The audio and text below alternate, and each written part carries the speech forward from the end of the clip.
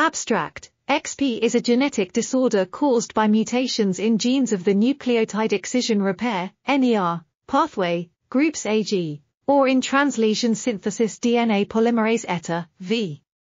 These mutations lead to an increased skin cancer risk, which can reach thousands of times higher than the general population.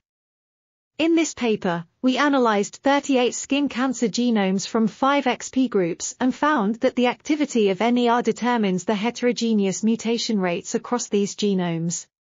Additionally, our results show that transcription-coupled NER extends beyond the gene boundaries, reducing the intergenic mutation rate. Furthermore, experiments with a POLH knockout cell line revealed the role of polymerase ETA in the error-free bypass of I, rare TPG and TPA DNA lesions, 2, 3 nucleotides in pyrimidine dimers, and 3, TPT photodimers. Finally, our study unveils the genetic basis of skin cancer risk in XP and provides insights into the mechanisms reducing UV-induced mutagenesis in the general population.